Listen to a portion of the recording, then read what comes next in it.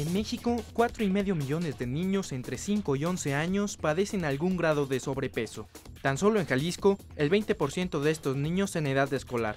Eso ha hecho que enfermedades como la diabetes y la hipertensión se adelanten en la edad de la población, comenta el secretario de Salud. Hoy tenemos niños y algunos jóvenes con hipertensión a edades muy tempranas, cuando la hipertensión lo ordinario es que en la quinta década de la vida lo pudiéramos encontrar, pues hoy se han adelantado estas enfermedades y es por el sedentarismo. La mañana de este martes se presentó la boleta de calificaciones mexicanas sobre la actividad física de niños y jóvenes. En el documento se señala que México es el país con la tasa más alta de obesidad infantil en el mundo y que en las escuelas no se ha procurado por aumentar las horas de educación física.